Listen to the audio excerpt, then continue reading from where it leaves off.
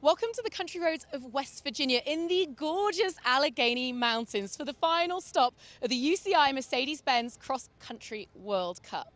Now, there's one thing we know about being in America, it's that the fans are absolutely wild. They are so noisy. And that's going to be so key to our riders today. After a long old season, no doubt they are going to want to race. Now, with Loana Lecomte already winning the overall and sitting this one out, it's going to be up to the rest of the women's field to put on a show.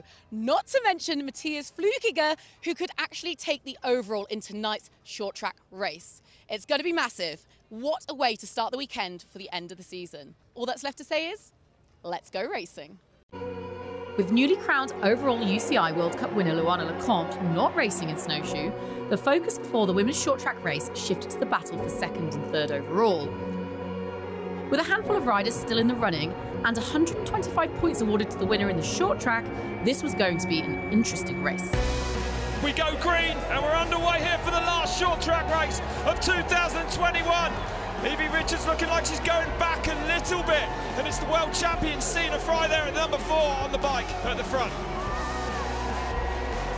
Jenny Rissveds made her intentions clear early on in the race as she took the lead with Sina Frei, Evie Richards and Jolanda Neff right behind her. Cheered on by the enthusiastic crowd, the lead group stayed together throughout the first lap, with Rissveds still at the front. But then Australia's Rebecca McConnell moved past Rissveds, pushing hard at the front. Rissveds staying on her back wheel, and shortly after reclaiming the lead herself. At the start of lap three, the field was still close together, with everyone fighting for positions. And then, disaster struck for the 2019 overall UCI World Cup winner. Wow, look at that. Kate Courtney is on the ground. Luckily, Kate Courtney wasn't injured and could continue the race. At the front, it was Evie Richards' turn, who moved past Jenny Rissveds and took over the lead.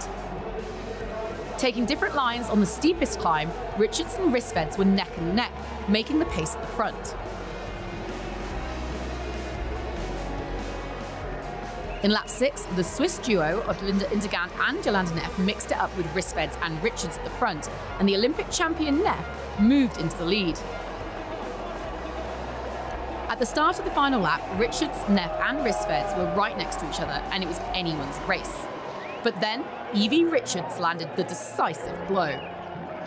So Richards trying to make it happen from the outside, and she does! So Richards to the front now! Richards powered ahead with Neff and Rissveds fighting to stay on her back wheel. But the cross country Olympic world champion was just too strong. But it's all out from the British rider. Here comes Evie Richards. She takes the win in snowshoe. I felt good in my warm up, my heart rate looked good and the power looked good, so I was pleased. But you never know because everyone is so fast, don't you? But I suppose you just got to go as fast as you can and hope, hope that that's enough.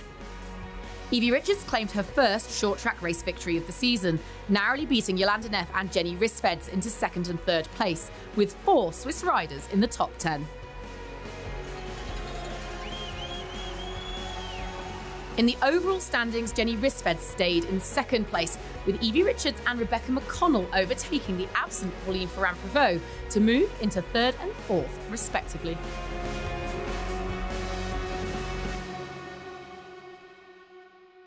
A dull moment in snowshoe. Guys, have you enjoyed that race? but it only gets more exciting from here. So Evie Richards laid down a marker. The men are up next. Can Mathias Flueckiger take the overall here tonight? Let's find out. Snowshoe, West Virginia, and the last men's cross country short track race of the year. A full 125 points up for grabs. But the title was very much in the hands of Mathias Flueckiger, who could wrap up his season's hard work if he finished in the top 12. And we go green and we're off then. All safely through there. Jonathan Gorensky, Nino Schurter is there. They're fighting positions at the moment. It's hectic out there. It was an aggressive first lap with the lead chopping and changing hands, but nobody could establish themselves at the front.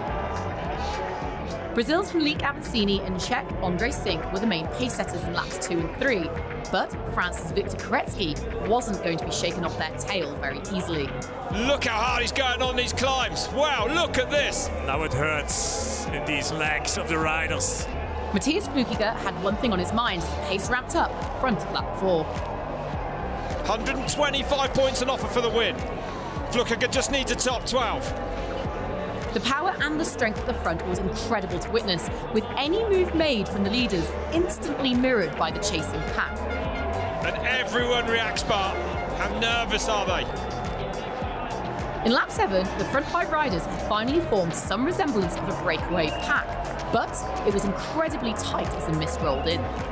With the final lap looming, everything was going to plan for the potential overall champion Mathias Flueckiger, who lay in fourth. On the final lap, the intensity of the race was incredible, as Avancini and Koretzky showed what world-class climbing is all about. Oh, Koretzky won't look back now, attacking hard on this climb.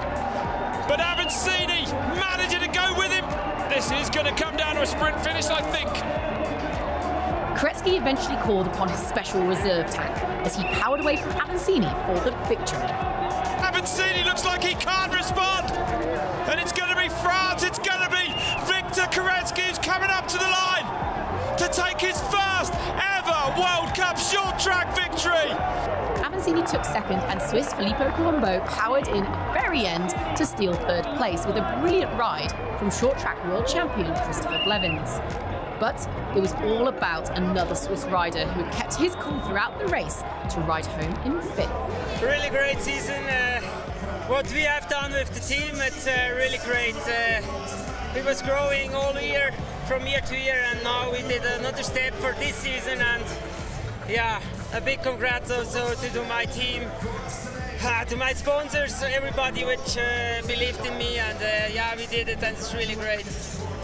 An exciting last short track race of the season for the men with Victor victorious here in Snowshoe.